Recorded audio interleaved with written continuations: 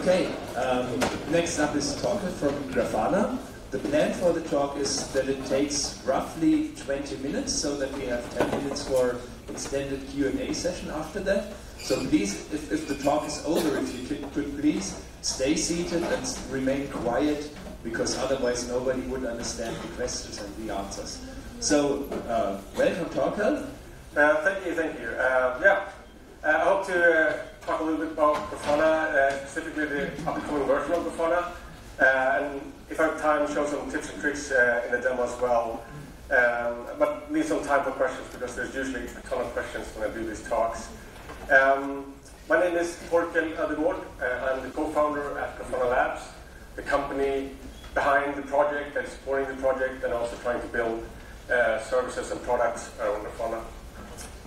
Um, is an open source monitoring and data visualization tool licensed under Apache 2.0, of found on GitHub. Looks something like this. Uh, you build, or maybe the better, the light theme or the enterprise theme. People are scared of dark UIs. Um, I actually might use this in a demo because it looks better in this room because of the, all of the lights. Um, yeah, you build uh, beautiful dashboards or graphs uh, and other panels. Uh, the graph is kind of the, the, the cornerstone of Grafana, the, the powerhouse panel.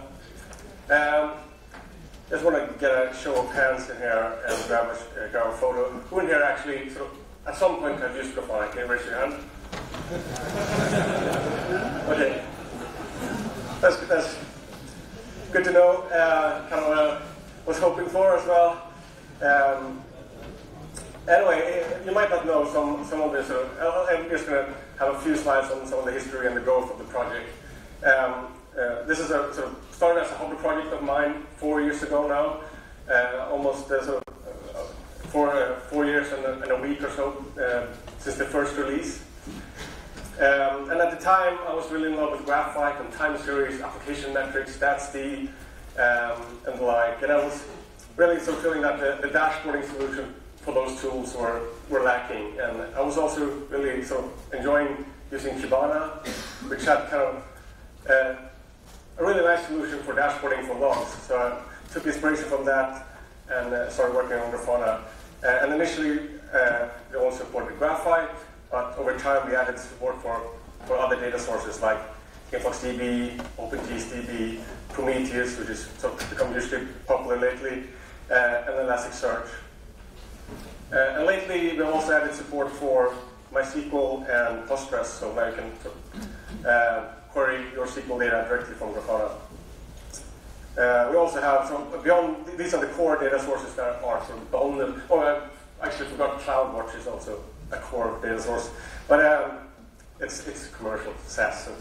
Um, uh, anyway, uh, we not, not, not at least not, not suitable for this conference. Um, anyway, um, we also have a ton of data sources uh, on our on Grafana.com, so plugins and panels, apps, uh, and a community-powered uh, sort of repository of the, uh, sort of ready-made dashboards. Um, as I said, this project has now existed for four years, um, and during that time, we've kind of seen a really incredible amount of growth. Uh, starting from version 2, we added some very basic server reporting so we can sort of see what versions are running. Um, and uh, so the last three years, we've kind of seen how, how many Grafana servers are actually running, not just track downloads, but actually see uh, how many are actually using the software. Um, and of course, the real numbers, so right now we're at 130,000 reporting services, no servers, but of course it's a lot more Grafana installations running because of a lot of people turn off the the usage reporting. Um, it's, but it's interesting to see sort of how, how this trend has sort of progressed in the last four years, and it's kind of, uh, that the trend is also increasing in, in sort of in velocity and kind of exponential growth. And uh, part of that is, of course, that Grafana is amazing, and it sort of uh, solves this kind of uh, uh, niche um, domain where there's not a lot of competitors. But I also think that uh, the, the, need for observability and good sort of, sort of monitoring tool, tool has also increased with the advent of sort of more elastic infrastructure uh, and uh, sort of microservices and more complex application uh, production environments, the need for good observability tools and, and monitoring tools has also increased. So Grafana is kind of riding that wave as well.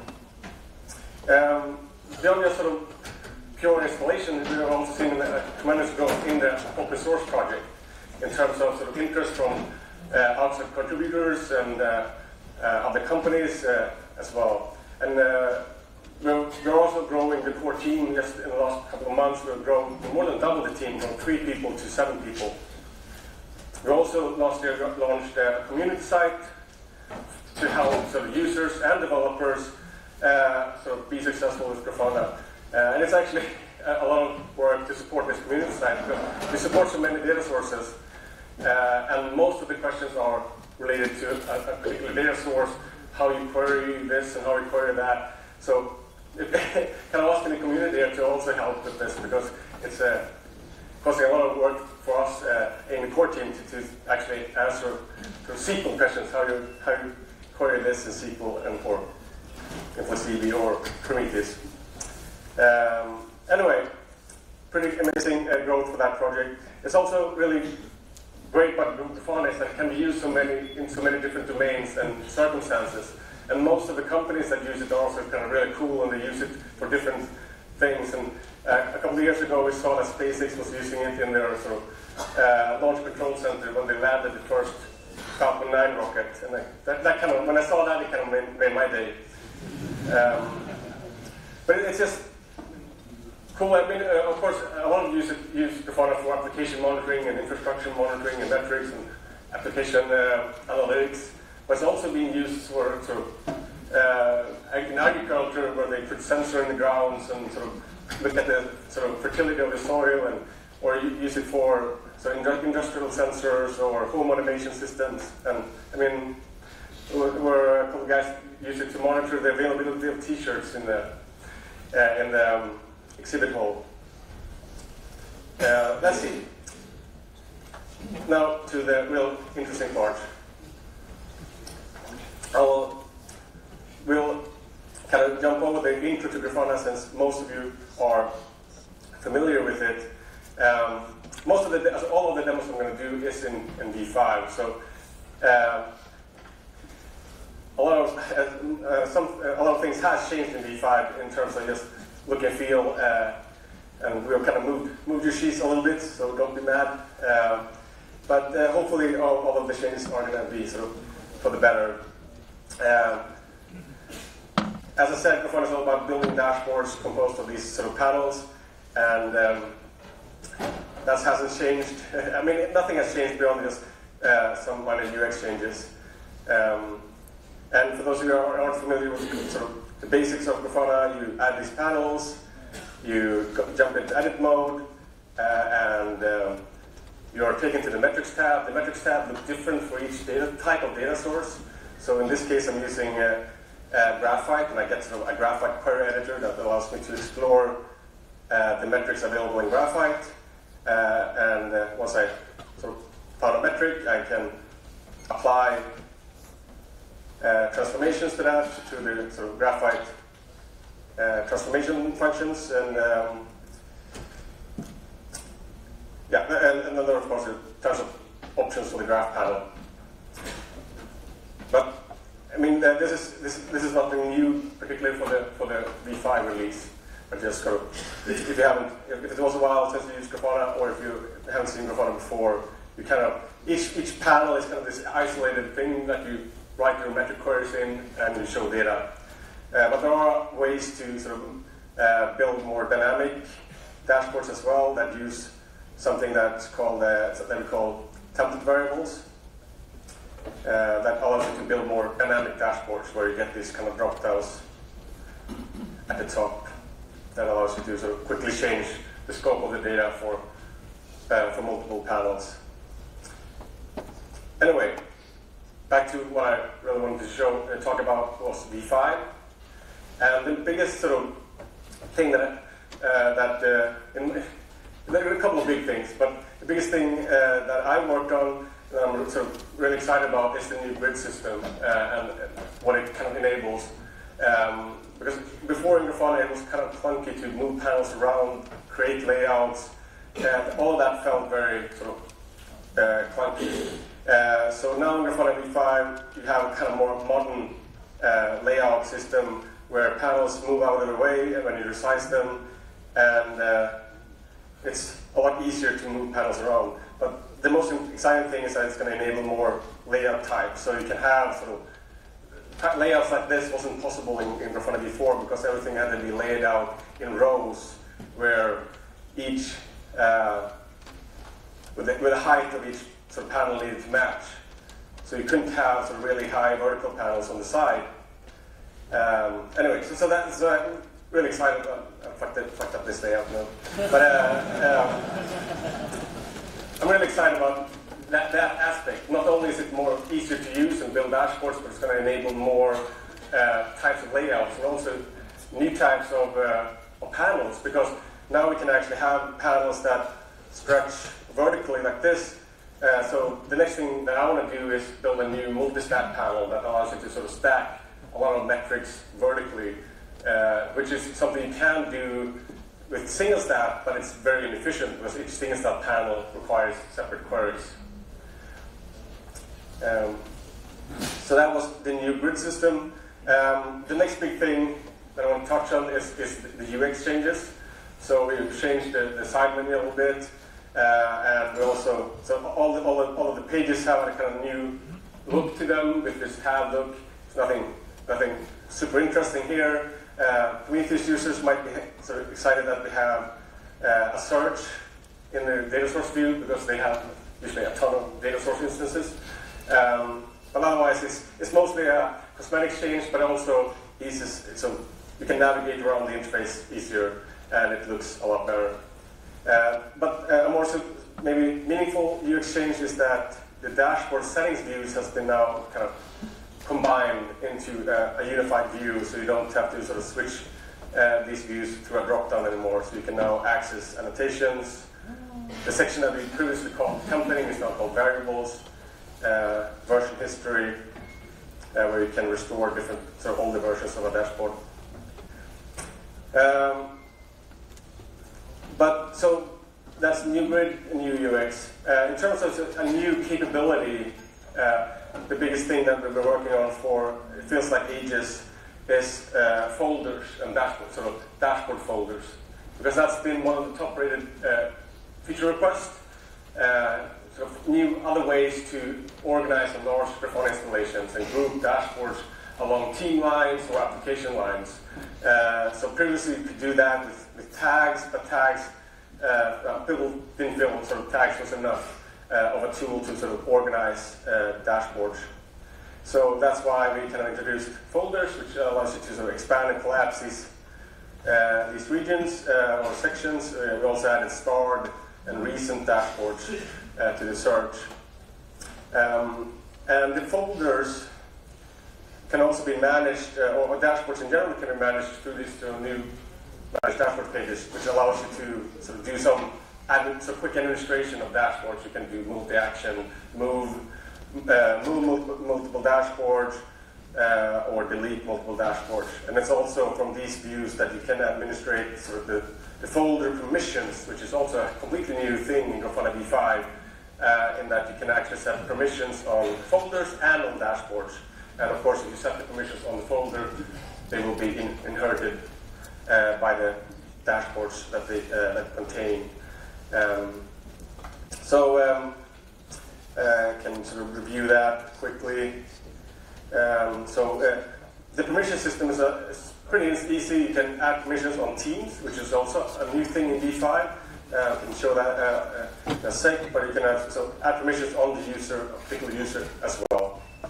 Um, and you can add permissions on the team. And if I go to a dashboard that is contained uh, so any dashboard has permissions as well, and then they get sort of their permissions inherited. Um, and you can sort of, uh, you cannot override the folder permissions, but you can override the default sort of uh, role-based permissions. Um, as I said, Teams is a completely new sort of thing that we are adding in V5. Uh, mostly uh, now they're only sort of there for the permission system to make it easier to manage uh, uh, manage the permissions. Uh, right now, we only have permissions on folders and dashboards, but we hope to add, them, add them to, to data sources as well. Um, so lastly, uh, there's one feature that I want to sort of just mention. It's hard to demo it because it's a backend feature, but I think it's kind of sort of uh, be appreciated and, and it's, it's, interesting uh, in a way. Uh, and that's a, a, provisioning system. Uh, previously in Grafana, when you uh, created new data sources or new dashboards, it had to be done through the UI or through the HTTP API, which kind of requires that Grafana is running and it's uh, a bit trickier to do from a sort of configuration management perspective or sort of automation perspective. Uh, people have been sort of managing to do that through the API, but it's it's tricky. So now Grafana has sort of a built-in provisioning system, so you can set up data sources and dashboards through configuration files, which is going to sort of make uh, yeah.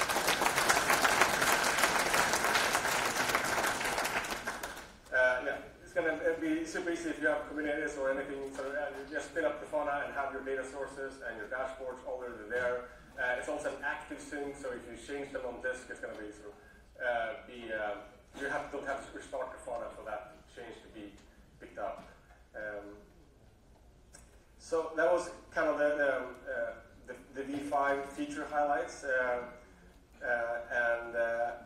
I will have a few, few features that I want to highlight as well that I'm not sure everyone kind of is aware of. Um, it's because it's a feature that is hidden and also quite recently added as well. So annotations is a very old feature in Grafana uh, uh, that allows you to overlay uh, overlay rich event, data. I'm just going to remove this. it's kind of I want to show. Um, so annotations is an old feature in Grafana that allows you to sort of overlay these events on graphs. Um, these could be sort of deploy events, uh, marketing, outages, anything. But uh, before in Grafana, you, you, had to set up a, a, a sort of an annotation query that fetched these events from a data source like Elasticsearch, InfluxDB, Prometheus, Graphite, anything that kind of could, could, could uh, contain the event data. So what you couldn't do create these events from within the UI. And that's actually something you can do starting from v4.5, I think it was when we introduced this feature. So just by holding down Command uh, on Mac or Control on Windows and Linux, you can uh, so open the Add Annotation view and sort of describe, describe an event. Uh, and of course, uh, this um, can also be automated and done through, so you can use the HTTP API to create these. Uh, and these are stored in Grafana's own database, uh, so you don't have to sort of set up a data source to store these. what, what else you can do is actually, if you do the same thing, but uh, mark a region is to create uh, a region annotation and uh, uh write a description. And uh, the, the, the, tags here are kind of important in that it, it, will allow you to show this event on other dashboards uh, and find some search and filter for it. So now I'll say this, if I now go back to this new grid dashboard, I can add an annotation query called outages and say I want to look at all annotations that are created in the Grafana database uh, with the tag outage. And hopefully, if I zoom out, uh, I should see. Oh, here we go. There it is. So uh, if I tag it, I can then sort of create these annotation queries on other dashboards and actually show them uh, sort of on a conditional basis. So I can toggle uh, that annotation on and off. Um, another, I mean, I, I, showed, I touched on, on templating briefly before. Um, what you can do uh, uh, beyond just sort of using template variables to create dynamic dashboard is, is you can also have uh, Grafana repeat uh, panel. Uh, and what's new in V5 is that you can have a panel be repeated in the vertical direction, not just horizontally. So in this case, uh, this single stat panel is being repeated for each value uh, on the side here. Um, and you can have, uh, there's also a concept of rows in Grafana, which is still there in V5. It's slightly different. but then you can also have Grafana repeat whole rows for each value you select in a, in a template variable. Um, so uh, the, the last kind of tips and tricks is, is showing how you can use style overrides in the graph to really customize how your graphs look. Um, in this case, I'm showing uh, network traffic in and out, and uh, I'm showing uh, the out metrics uh, on the bottom, so on the negative axis. Uh, and the way I'm doing that is using uh, a display override, saying all series with the name out in its name should be in a separate stack group, and should also be transformed sort of, and visualized on a negative y-axis. Uh, there's other use cases for sort of style overrides in that you can sort of really customize uh, how each series series should be sort of displayed. You can sort of say, uh, okay, this series should, shouldn't be displayed with uh, uh, with uh, any sort of line fill, or this series should have points. so I could sort of say this should not have any lines on it. So you can really customize the look of your graph using style overrides. Uh, there's also a, a, cool style override that's called fill below two that allows you to to uh, fill a region between two series, which can be can be useful if you have a min and max and average, so you can sort of, uh, uh, mark a region. Um, that pretty much uh, covers most of the sort of the, my demos, and uh, wanted to leave some time for questions. Um, I'm sure there are you. Okay, uh, please stay seated and uh, quiet and time for questions. Oh yeah, sorry, I, I should have I should have mentioned this. Um, uh, so beta on Monday. Uh, we, we had originally planned it for for uh, uh, Thursday, but since we were going to go to FOSDEM and travel yesterday, we kind of pushed it to Monday. So the plan is the plan is to release it on on Monday. And uh, stable, we hope to sort of do uh, in, time, sort of in three weeks' time at the GrafanaCon.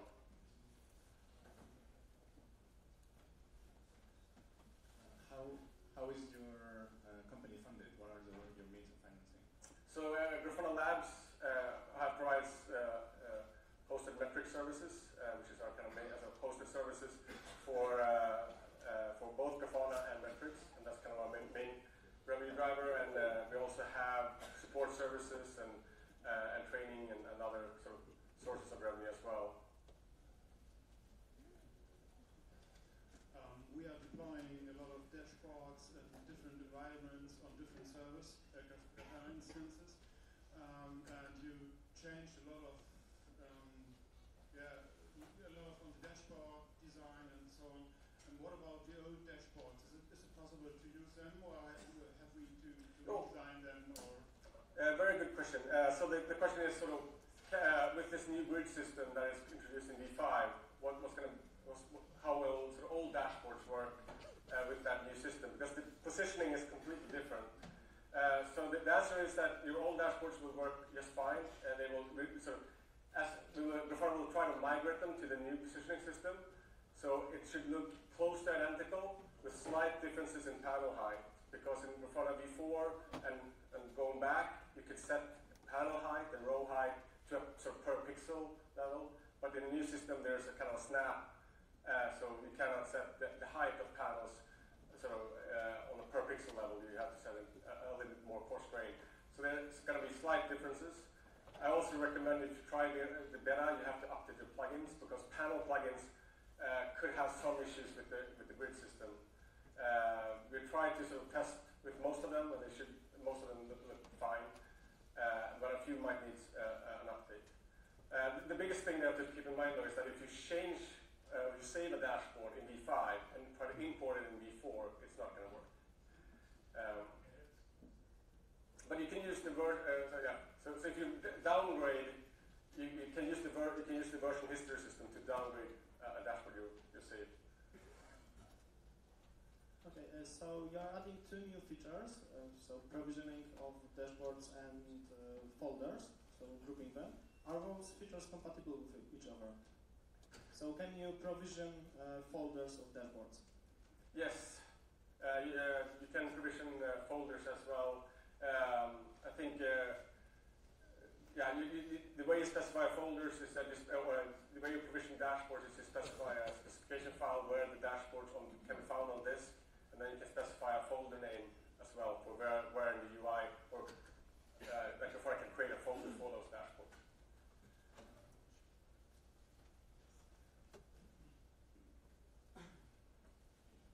Just follow-up question on the previous one. Uh, after migration to version 5, will you change the way you store uh, dashboard database format? will you change the same to local JSON or something different? No, uh, well, uh, the, the, the JSON is, slightly different. It's sort of because the, the, the panel's position uh, model has changed, and it's no, no longer structured in rows. It's more structured in as a sort of here's a collection of panels and their position. So the, the, the structure of the mo- of the JSON is is slightly different, but it's it's mostly sort of instead of laying them out in rows, they're just in a flat array now. But still single cell in, in, in single cell in database, right? Yeah, yeah, yeah, yeah, everything is stored in Grafana's database. Um, we have, uh, was, there is one big change that I haven't, didn't touch on because it's kind of, uh, and that's, it's uh, Grafana's, the, the IDs for the, da- uh, for, the for the dashboard have, have changed and the URL has changed. And this is something we worked really hard on just last minute and it's related to the provisioning system and also uh, before Grafana v4 back going back, this, the slug is the unique ID for a dashboard. Uh, and the slug is based on the title. So if you change the, change the name of the dashboard, you break all the links to dash, dash, that dashboard. So if you have sort of all the alert emails or links in Slack, that those links are not going to work anymore if you rename the dashboard. And we felt that was a really bad experience. Uh, and also kind of ties into to, to the provisioning. So we wanted a unique ID and, uh, uh, and something in the ID, something in the URL that we can tie the dashboard to, uh, even after you change change the, the dashboard name. So that's kind of why the dashboard URL has changed in V5 as well. Um, the um, sorry, the user management and permission management is that going to be exposed through the um, provisioning system or the HTTP API? Uh, it is exposed through the HTTP API, but it's not supposed. Uh, so you can't provision users or organizations and teams through the provisioning system yet. Something we sort of uh, uh, we have talked about, but we're not sure about. But uh, it's it's definitely so something that we, we might want to add. So you can sort of add specifically teams or users and provide some some rules there. Um, but uh, not, nothing nothing that's done right now. Hi. Uh, how will you deal with uh, other identity providers for permissions and like Google Authentication or How, uh, how I will provide with OAuth as or authentication providers. so permissions? How will you deal with permissions for other identity providers than built-in users? Yeah, uh, currently we don't have uh, so, uh, any ways, uh, we haven't written any way to m- integrate permission, the permission system with outside sort of permission systems, so LDAP, OAuth. Um, so all these permissions are something that's kind of only living in Grafana right now. But we will probably look into some, some way to, to sync these with outside uh, sources as well. But currently this is something that only lives in Grafana. Um, Sean, second question about dashboards. You say uh, if I define dashboard in a file, um, it is loaded and also stored in the database, or Yes. So, so uh, and the reason for that is sort of uh, to provide some features. That, so everything in Grafana is kind of tied to that to the uh, dashboard in the database. Like if you if you store a dashboard, if you have alerts in the dashboard, the alert is kind of tied to the dashboard ID, uh, database ID. So there's a, bunch of features that sort of require the dashboard, uh, uh, the database ID. But it, but the ma- we, what's cool with the provisioning system, both for data sources and dashboard, is that you can lock down editing from the UI. So, so you can sort of control that. So this data source is not is so the master data is the, the file in the provisioning system. So you don't sort of accidentally change it in the UI. So you can sort of have some control over that. Yeah. The regional, the region annotations, are there a way to get those from data sources, not, not from Grafana's database? Um,